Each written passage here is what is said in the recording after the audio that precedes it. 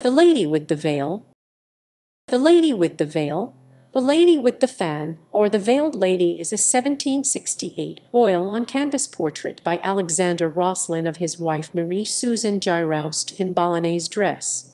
The work was mentioned in an inventory from Österbybruk as Portrait of the One Eyed Woman. It is now in the Nationalmuseum in Stockholm under its current title. It featured in the 1972 Swedish series of stamps Gustaviansk Konst. References equals